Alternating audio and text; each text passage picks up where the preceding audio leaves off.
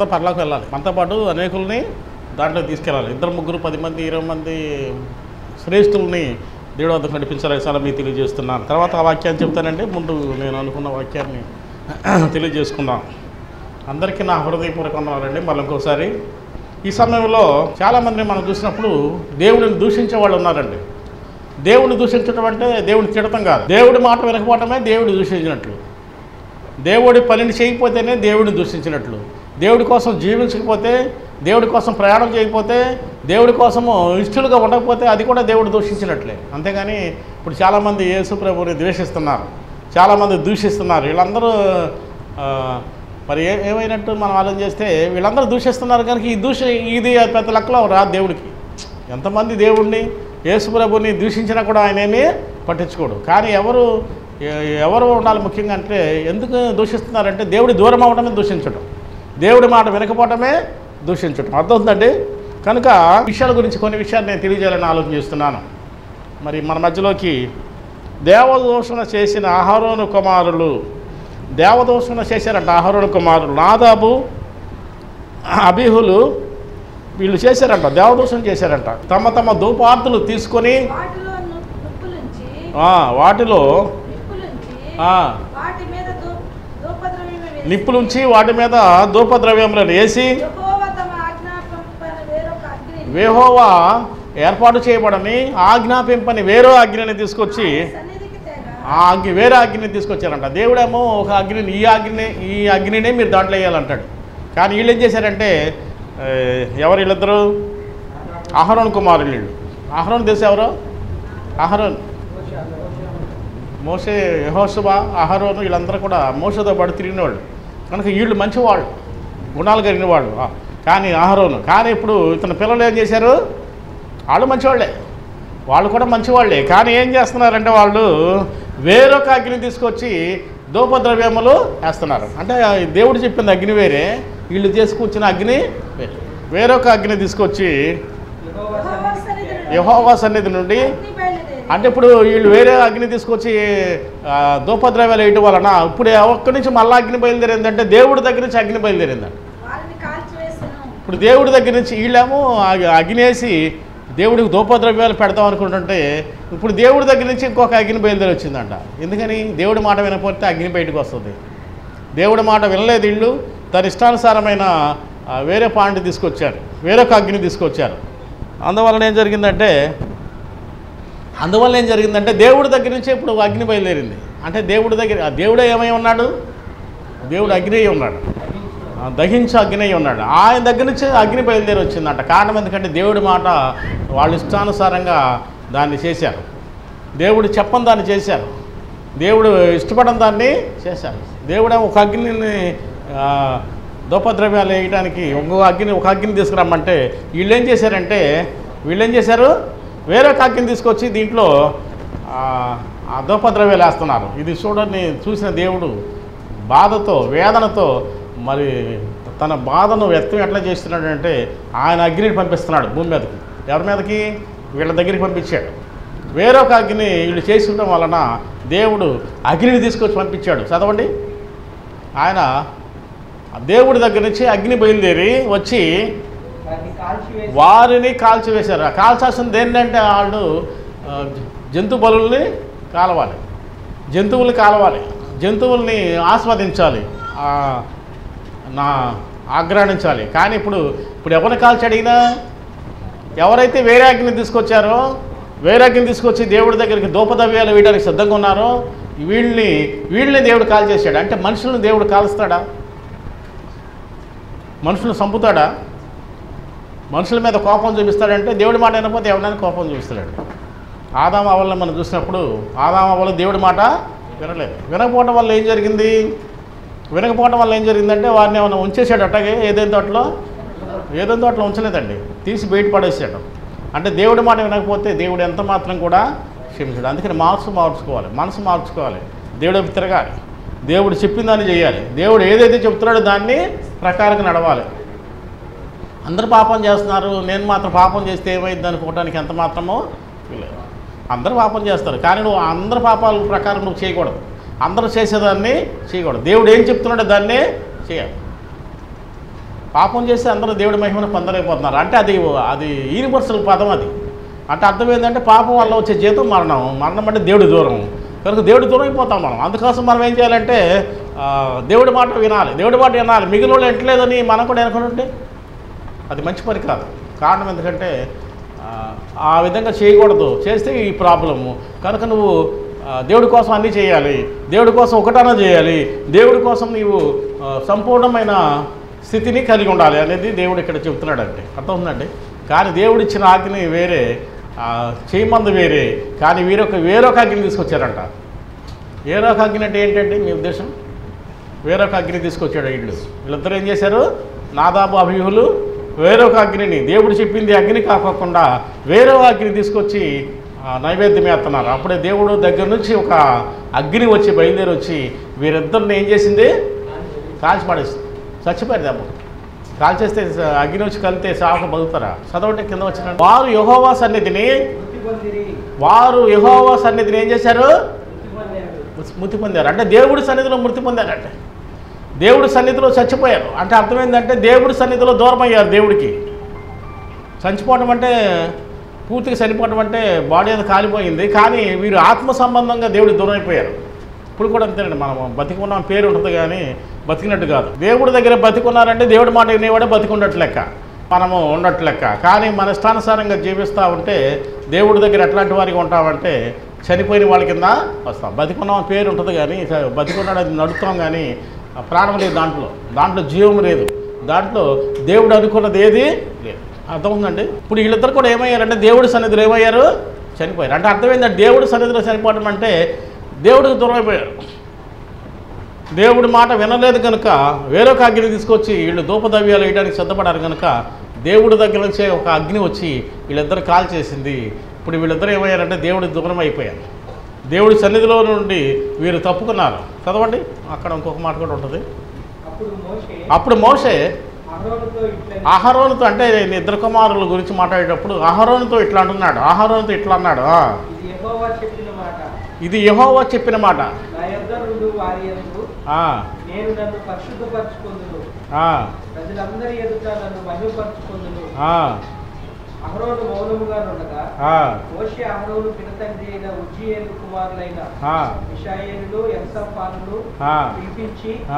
చూసారా? ఇద్దరు చచ్చిపోయారు.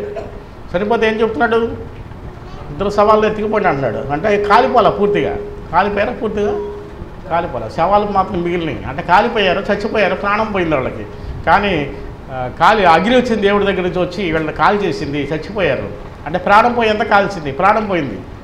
అంటే వీళ్ళు మసి అయిపోలా వీళ్ళిద్దరూ మసి మసి అయిపోయి అసలు ఏమీ లేకుండా బాడీ లేకుండా పోలా బాడీ అట్లాగే ఉంది. చాలా వరకు అట్లాగే ఉంది. కనుక ఇప్పుడు ఈ శవాలను ఏం చేయాలి? తీసుకుపోండి అంటున్నాడు. ఎందుకని? దేవుడి సన్నిధిలో శవాలు ఉండకూడదు. దేవుడి సన్నిధిలో ఎవరు ఉండాలి? బ్రతికిన వాళ్ళే ఉండాలి. అందువలన దేవుడి మాట వినేవాళ్ళే బ్రతికినట్టు లెక్క. దేవుడి యొక్క వాక్యానుసారంగా జీవించే వాళ్ళే బ్రతికి ఉన్నట్టు లెక్క. దేవుడి మాట వినని తమ ఇష్టానుసారంగా చేసేవాళ్ళు అందరూ దేవుడి దగ్గర ఎట్లుంటే ఎట్లాంటి వారిగా ఉన్నారంటే చచ్చిపోయిన వాళ్ళగా ఉన్నారు శవాల్లాగా ఉన్నారు. బతికున్నామని పేరు ఉంది కానీ వాళ్ళు ప్రాణం ఎంత మాత్రమో అర్థమవుతుందండి? కనుక ఇది దేవుడు ఇష్టపడింది. దీనికి దేవుడు ఇష్టపడలేదండి ఈ లేవికాండంలో జరిగిన సంఘటన అహరోను కుమారులు నాదాబు అభిహులు ఇద్దరు చనిపోయారు కాలిపోయారు. దేవుడి దగ్గర నుంచి అగ్ని వచ్చి వాళ్ళు కాల్చి పాడేసింది. అంటే దేవుడి దగ్గర నుంచి అగ్ని వచ్చిందంటే వాళ్ళు ఎంత మరి దేవుడికి ఇబ్బందికరంగా నడిచారో మనకు అర్థం అవుతుంది. దేవుడు ఇష్టపడని అగ్ని తీసుకొచ్చారు. అగ్ని అన్య అగ్ని అంటే అన్య అన్య అగ్నిని తీసుకొచ్చారండి. అదే దేవుడు ఇష్టపడింది అదే. మొదట్లో మనం చూసినప్పుడు జలప్రళయం ముందుగా చూసినట్టు దేవుడు చూసినప్పుడు జలప్రళయం ముందు ఏం జరిగిందంటే అందరూ కూడా తమ దారులు చెరిపేసుకున్నారు. దేవుడు నమ్మిన వాడు ఒక్కడే లేడు. దేవుడి మాట వినేవాళ్ళు ఎవరు లేరు. తన ఇష్టానుసారంగా చేస్తున్నారు పెళ్ళి చేసుకుంటున్నారు. ఇల్లు కట్టుకుంటున్నారు తింటున్నారు త్రాగుతున్నారు కానీ దేవుడు ఉన్నాడు అన్న విషయం ఎవరికి లేదు. అందరూ చచ్చిపోయారు దేవుడి దగ్గర. అందుకే చచ్చిపోయిన వాళ్ళని చంపాలి మళ్ళీ ఇప్పుడు. ఆల్రెడీ దేవుడి మాట వెళ్ళిన వాళ్ళందరూ ఏమైనట్టు? చనిపోయినట్టు. చనిపోయిన వాళ్ళు ఏం చేయాలి ఇప్పుడు? తుడిచేయాలి చనిపోయిన వాళ్ళని మన ఇంట్లో పెట్టుకుంటావా? మన ఎంత ఇంపార్టెంట్ వ్యక్తి అయినా మన తండ్రి అయినా మన తల్లి అయినా మన భార్య అయినా భర్త అయినా పిల్లలైనా చనిపోయిన తర్వాత ఎవరైనా ఇంట్లో పెట్టుకుంటారా? బయటికి లాక్కెళ్ళిపోతారు. అందువల్ల వాళ్ళు ఊడ్చి ఏం చేయాలి? ఎక్కడ వేయాలి అక్కడ వేస్తారు. అంతేకాని ఇంట్లో పెట్టుకోరు ఎవరు కూడా. అర్థమవుతుందండి? చనిపోయిన తర్వాత ఎంత గొప్పవాడైనా ధనవంతుడైనా ఇంట్లో వాడైనా పరుపుల మీద పడుకున్నవాడైనా రకరకాలైన మంచి పనులు చేసిన వాడు ఎంత వాడైనా సరే తన ఇంట్లో వాళ్ళకి ముఖ్యమైన ముఖ్యకుడైనా చనిపోయిన తర్వాత ఏం చేస్తారు? ఊడ్చేస్తారు బయటికి. బయటికి ఊడ్చాలి. బయట తీసుకెళ్ళండి బయట తీసుకెళ్ళండి అంటారు. వెళ్ళిపోండి తీసి పంపించేయండి అంటారు. అంతేగాని మేము ఉండండి ఏం పర్లేదు నా ఎదురులో ఉంచుకుంటాం మేము. అంటే ఎవరన్నా ఉంచుతారా? ఊడ్చేస్తారు కనుక ఇప్పుడు శవము రెండు శవాలు ఉన్నాయి ఇక్కడ. అందుకని మోసేవ అంటున్నాడు? ఈ శవాలను ఏం చేయాలి? తీసుకెళ్ళిపోండి. మోసుకుపోండి అని చెప్పి చెప్పినట్లుగా మనం చూస్తున్నాం. కనుక దేవుడి మాట వినకపోతే జరిగిన సంఘటన అదండి. ఈ మధ్యాహ్న కాల సమయంలో దేవుడి వాక్యం మనం అందరం వింటున్నాము. వాక్యానుసారంగా జీవిస్తున్నాం. కనుక మరి దేవుడికి దోషణ చేస్తే దేవుడికి వ్యతిరేకంగా మాట్లాడితే దేవుడి చెప్పందాన్ని చేస్తే జరిగే సంఘటన ఇది. ఇప్పుడు మన మనమైనా అంతేనండి. సేవకులైనా దేవుడి మాట అనుసరించి నడవకపోతే అన్ని కార్యక్రమాలు హృదయంలో పెట్టుకుని వాటి ప్రకారంగా జే- వదలకోకుండా వా- వాటిని వదిలేసుకోకుండా ఉన్నట్లయితే దేవుడి దగ్గర నుంచి అగ్ని వస్తుంది. దేవుడి దగ్గర నుంచి సమస్య వస్తుంది. దేవుడే దూతను పంపిస్తాడు. దేవుడే చెడుని పంపిస్తాడు. దేవుడే దురాత్మను పంపిస్తాడు. దురాత్మను ఎట్టా రావండి? దేవుడు పంపిస్తేనే. ఎందుకు పంపిస్తున్నాడు ఆయన అంటే అర్థమైందంటే మనం దేవుడి మాట వింటలేదు. ఎందుకు దురాత్మను పంపించాడు దేవుడు సౌలు మీద కంటే సౌలు మంచివాడే రాజే కానీ అతని మీదకి ఏమొచ్చింది దురాత్మ. అతను దురాత్మ వచ్చినప్పుడు ఏమవుతున్నాడు? ఎవరిని లెక్క చేయట్లా? అందరినీ ఎవరినైనా చంపడానికి రెడీగా ఉన్నాడు. ఏడు తన ఇష్టానుసారంగా జడిస్తున్నాడు కానీ ఆ దురాత్మ వదలగొడితేనే ఆ దురాత్మ పోతేనే మరలా మామూలుగా అవుతున్నాడు. ఆ తర్వాత మళ్ళా మామూలే దురాత్మ వదలగొడుతున్నాడు. ఒక వ్యక్తిని పిలిపించారు. ఈ దురాత్మను పోగొట్టడానికి ఏం చేయాలని అనుకుంటే దురాత్మ పట్టాలంటే ఏం కావాలి? ఇన్స్ట్రుమెంట్లు కావాలి. దురాత్మ పోవాలంటే ఏం కావాలి? మళ్ళీ ఇన్స్ట్రుమెంట్స్ అందుకనే దావీదు ఇన్స్ట్రుమెంట్ వాడతాడు కనుక ఆ ఇన్స్ట్రుమెంట్తో దురాత్మను ఇతను వాయిస్తూ ఉంటే ఆ దురాత్మ ఏం చేస్తుంది? వెళ్ళిపోయింది. మళ్ళీ తర్వాత ఇతను వాయించడం ఆపేసి మరి ఉంటే తర్వాత దురాత్మ ఏం చేస్తుంది? వచ్చేస్తుంది పట్టేస్తుంది. అంటే అర్థమైందంటే ఏంటంటే పోత పూర్తిగా పోవట్లేదండి. పూర్తిగా పోవట్లా. పూర్తిగా పోవాలా? పోవద్దా? పోవాలి కదా కానీ పోట్ల. మళ్ళీ వచ్చి పడుతుంది. మళ్ళీ వచ్చి పట్టిన తర్వాత మళ్ళా వాయిస్తే కానీ పోట్ల. ఇది చాలా ఘోరమైన పరిస్థితి. కారణం ఎందుకంటే అతని హృదయం మంచిది కాదు. మోసే గుణ సౌలు యొక్క గుణాలు మంచివి కాదు. దేవుడేమో అతన్ని ఎన్నుకుని మొదటి రాజుగా ఏర్పాటు చేసి తను అద్భుతమైన ప్రణాళికలో దేవుడిని నిర్మాణం చేసుకుంటే గాడిదలు మేపుకునేవాడిని అందలం ఎక్కిస్తే రాజుగా నియమిస్తే ఇస్రాయల్ జనాంగం అందరం మీదకి అధికారిగా నియమిస్తే గాడిదలు మేపుకునేవాడు. కానీ ఏం చేశాడు? దేవుడి మాట వినలేదు. దేవుడు చెప్పని దాన్ని చేస్తున్నాడు. దేవుడికి అయిష్టంగా జీవిస్తున్నాడు. అందుకే దేవుడు కోపం వచ్చింది. అందుకే దురాత్మ పంపించాడు. దురాత్మ కొన్ని రోజులు కొన్ని నెలలు కొన్ని సంవత్సరాలు ఇబ్బంది పడ్డాడు. ఆ తర్వాత దేవుడు మళ్ళా ప్రణాళికలు ఏం చేశాడంటే ఎవరన్నా ఇదే ఈ సవులకి ఆ సురాత్మ పోవటానికి ఉపయోగించాడు అతన్ని ఏం చేశాడు? ముందుగానే అభిషేకించాడు. సవులుకి దురాత్మ వచ్చేటప్పుడు ఈ స దావిది ఏం చేసేవాడు? సో వా వాయించేవాడు. ఇన్స్ట్రుమెంట్స్ వాయిస్తే పోయేది. కనుక అప్పుడు ఆల్రెడీ ముందుగానే ప్రణాళిక. ముందుగానే ప్రణాళిక ఏంటంటే ఈ సవుల మీద ఈ సవుల రాజ్యంలో ఈ దావిద్ రాజ్య రాజ్యానికి రాజుగా నియమించాలని దేవుడు ప్రణాళిక. ఆ ప్రణాళికతోనే ఆ ప్రణాళికతోనే దావిదిని దేవుడు నిర్మాణం నిర్మించుకున్నాడు. ఇతని ఇంటికి తీసుకొచ్చాడు. ఇతని కుటుంబం దగ్గరికి వచ్చాడు. కానీ సవులకు దావిదంటే మంట. దావీదంటే కోపం ఎందుకని? ఎందుకు కోపం? ఇతనికి ఎందుకు వచ్చింది సౌలు మీద? దావిది మీద? ఎందుకంటే గొలియాతను చంపేటప్పుడు గొలియాతను చంపేటప్పుడు చిన్నపిల్లవాడు ఇతను. చిన్నవాడు. ఎట్లా చంపాడంటే సైన్యంతో చంపల. సైన్యాన్ని తీసుకెళ్ళి చంపల. లేకపోతే పెద్ద పెద్ద ఆయుధాలు తీసుకెళ్ళి చంపల. ఏమి ఎట చంపాడంటే ఊరికి చంపేశాడు. ఓరకనే టన్నే చచ్చిపోయాడు. మరి బాధే కదా? బాధే కదా? అంటే నేను ఇంత పెద్దవాడిని అయ్యి ఇంత రాజ్యం ఉండి ఇంత జ- జన సమూహాలు ఉండి ఇంత సైన్యం ఉంటే నేనేం చేయలేకపోయినా దడ- దడపుట్టి పడుకున్నాను ఇంట్లో. కానీ ఏమీ లేనివాడు ఒట్టి ఒడిసలతో రాయితో చంపేశాడు ద గొలియాతుని అంటే బాధ కదా. ఆ బాధలో ఏమొచ్చిందంటే అతనికి దురాతం పట్టింది. ఎదుటి వారి మీద ఎప్పుడైతే కోపం మనకు ఉంటుందో ఎదుటి వారి గురించి గొప్ప గొప్ప స్తే పనులు చేస్తే అది మనం ఎప్పుడైతే ఒప్పుకోలేమో అప్పుడు మనకేం పట్టుద్దండి? దురాతం పట్టద్దు. ఎవరికైనా పట్టద్దు ఇక కోపము ఈర్ష్య. అయ్యే పావేగా అవన్నీ ఎట్టగుండిపోతాయి అందుకని యేసుప్రభు చెప్పింది ఏంటంటే పౌలు చెప్తుంది అంటే మీరు ఈ కార్యక్రమాలు ఏవి ఈ శరీర కార్యాలు ఏవి మీ దగ్గర మీ దగ్గర ఉండకూడదు. వీటి ఉంటే పట్టేస్తుంది వచ్చి. ఎవరు పడతారు? దురాత్మ పట్టేస్తుంది. దురాత్మ ఎవరు? రమ్మంటే వచ్చేది కదా అది. దేవుడు పంపిస్తేనే వస్తాయి. ఒకసారి స ఏబు ఏబు విషయంలో అపవాది ఏం చేస్తాడంటే అటు తిరిగి ఇటు తిరిగి తన దూతలతో కలిసి దేవుడి సన్నిధిలోకి వస్తాడండి. దేవుడి సన్నిధిలోకి వస్తాడు. ఏం చెప్ప వచ్చి ఏం చెప్తాడు? వచ్చి దేవుడి దగ్గరికి వచ్చి కూర్చుంటాడు. అప్పుడు దేవుడు అంటాడు యహో అంటాడు ఏమంటాడంటే నీవు నా సేవకుడైన ఏబు సంగతి ఆలోచన చేసావా అని అడుగుతాడు. అంటే ఎందుకు అడగాలి? దురాత్మ పట్టాలన్నా అపవిత్రాత్మ రావాలన్నా ఆ సైతానుడు మన మీదకి దూకాలన్నా ఎవరు సెలవు లేకపోతే వస్తాడు? దేవుడు సెలవు లేకోకుండా రాడాడు నా సేవకుడైన ఏబు సంగతి ఆలోచన చేసావంటే నేనేం చేయను మీ ఏబు ఎందుకు ఆలోచన చేస్తాను నేను? అతని చుట్టూ నువ్వు కంచి వేసి ఉంచావు అతడు నువ్వు ప్రేమిస్తున్నావు అతడు నీ మాట అంటున్నాడు కనుక ఇప్పుడు నేనేం చేస్తాను ఇంకా?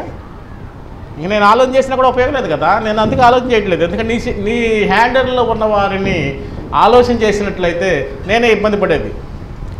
అపవాదం అంటున్నాడు నేనే ఇబ్బంది పడతాను. కనుక నీ నీ చేతిలో ఉన్నాడు అతను. నువ్వు కంచి చేసావు ఇక నేనేం చేయలేను నేను ఎందుకు ఆలోచన చేయాలి? అందుకని ఆలోచన చేయట్లేదు అంటాడు. సరే నేను వదులుతున్నాను. నేను వదులుతాను. కంచికి తీస్తాను. అతనికి ఆలోచన చేయి ఒకసారి. కనుక అతను ఒకసారి పరిశీలన చేయు. నువ్వు నువ్వు పరిశీలిస్తావు కదా. అంటే దేవుడు సెలవు లేకుండా ఏం చేయలేడండి అపవాది కూడా. అపవాది కూడా ఏమీ చేయలేదు.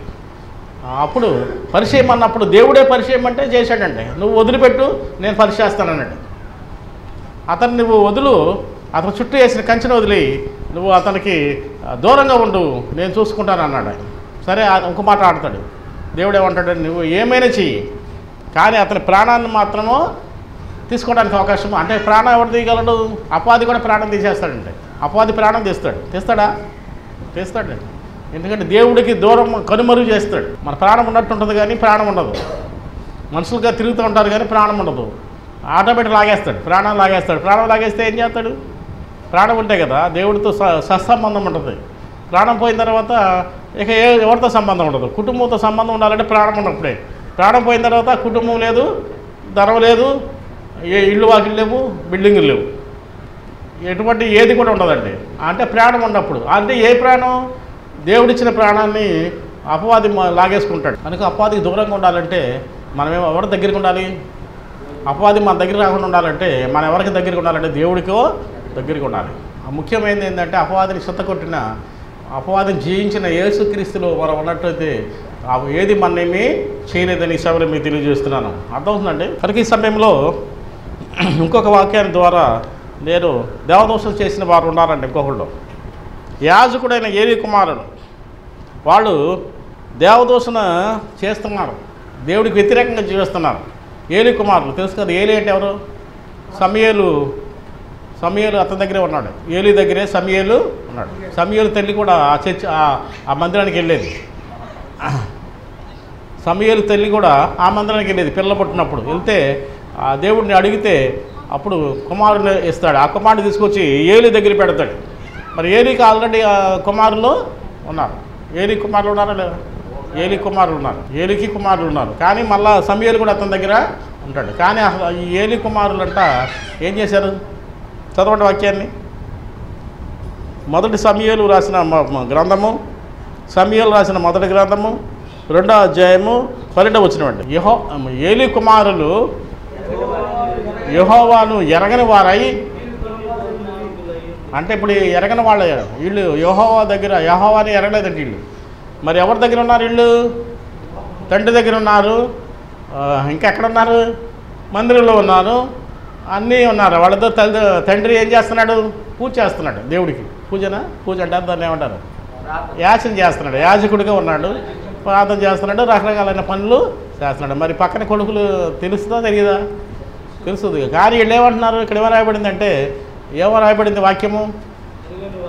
వీరు యహోవాను ఎరగని వారిగా ఉన్నారట. అంటే ఏంటి? అర్థం ఏంటంటే యహోవాను ఎరగడం అంటే ఆయన తెలియదు వాళ్ళకి.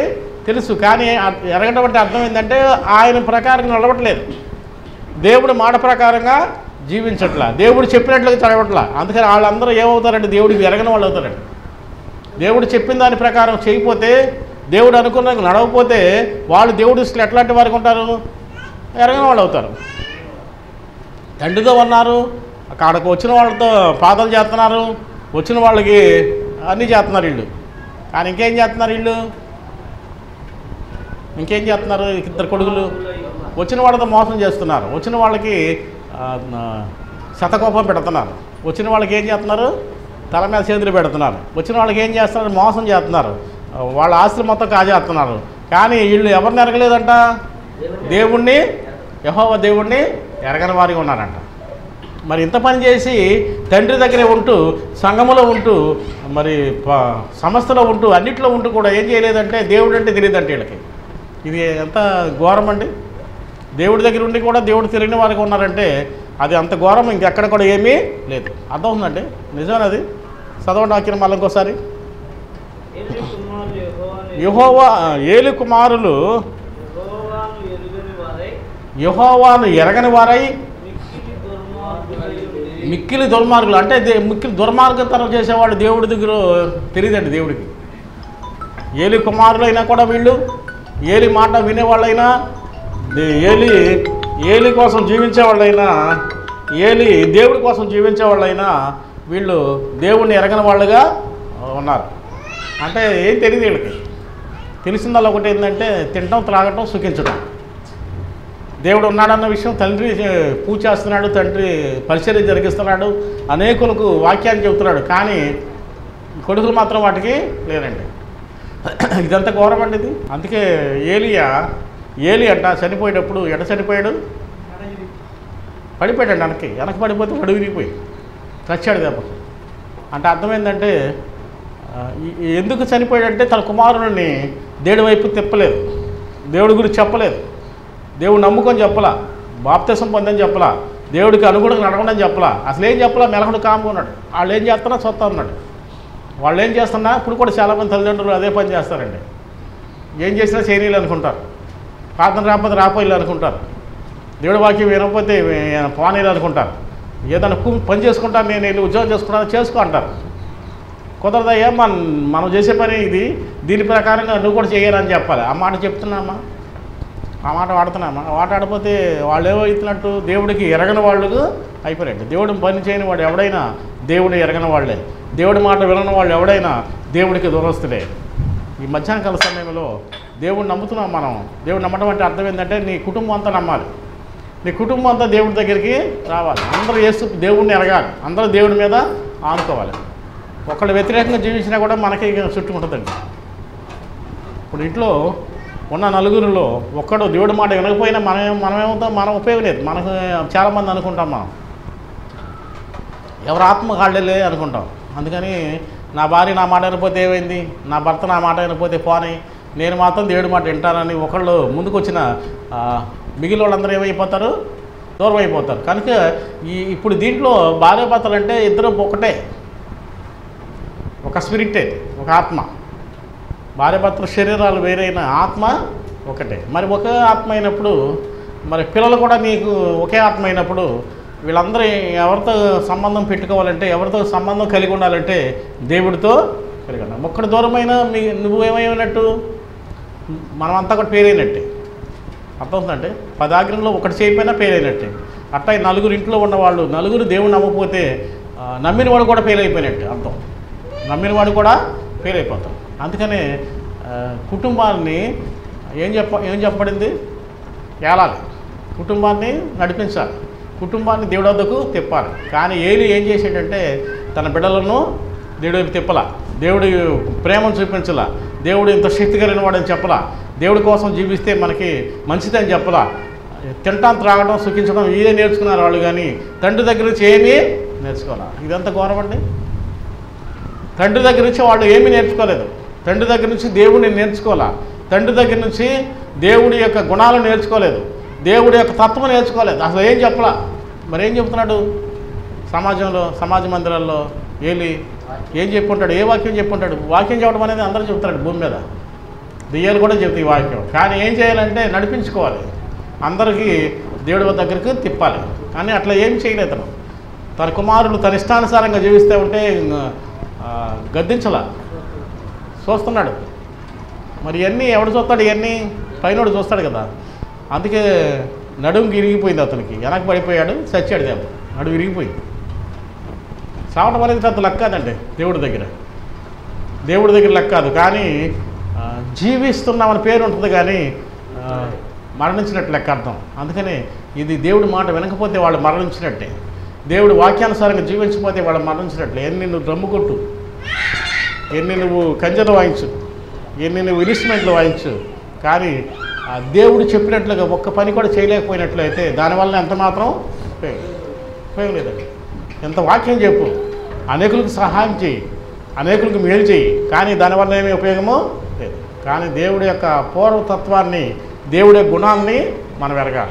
కనుక మనకోసారి చదవడం అదే మాటని. మిక్కిలి దుర్మార్గులై చూసారా? ముక్కిలి దుర్మార్గులు అయిపోయారంట మిక్కిలి దుర్మార్గులు అందరూ దుర్మార్గులేనండి. ఇప్పుడు దుర్మార్గం అందరూ చేస్తారు. కానీ ఈ దుర్మార్గం వీళ్ళిద్దరు ఎట్లా చేస్తున్నారంటే మిక్కిలి.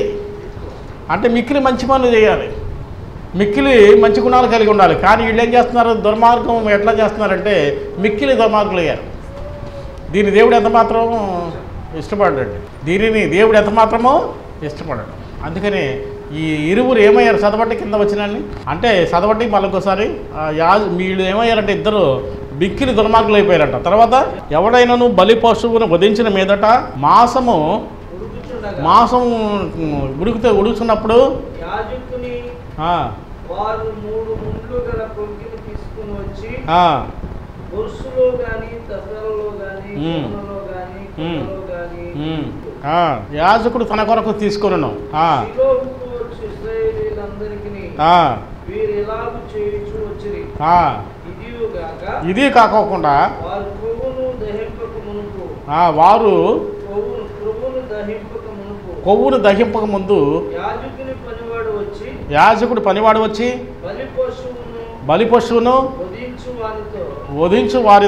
యాజకునికి వడ్డించుటకై మాంసమిము ఆ, ఉడకబెట్టిన అతని యొద్ద తీసుకొనడు. ఆ, పచ్చి మాంసమే కావాలని చెప్పుచూ వచ్చాను. ఆ. ఏమైనా అర్థమైందండి దీంట్లో మీకు చదువుతుంటే? ఏం చేశారు వాళ్ళు? చూసారా అంటే అర్థమైందంటే ఏం చేయాలో అది చేయట్లా. ఏం చేయకూడదు అది? చేస్తాం దీనికి దేవుడు ఇష్టపడతాడండి. చదవండి తర్వాత. ఈ గ్రహించుదురు. ఆ, తర్వాత ఆ, నీ మనసు వచ్చినంత మట్టుకు మీకు మనసు వచ్చినంత మట్టుకు తీసుకుని వచ్చిన తీసుకుని వచ్చునని అలాగనొద్దు ఇప్పుడే ఇవ్వాలి. లేనట్లయితే? బలవంతం చేత చూసారు ఏం చెప్తున్నారు? నువ్వు ఇవ్వకపోతే బలవంతం తీసుకెళ్ళి. మరి ఏం చేస్తారు ఇంకా? ఇంకేం చేస్తారు? అదే మరి. ఇంకేం చేస్తారు? ఆ, చదవండి కింద వచ్చిన అందువలన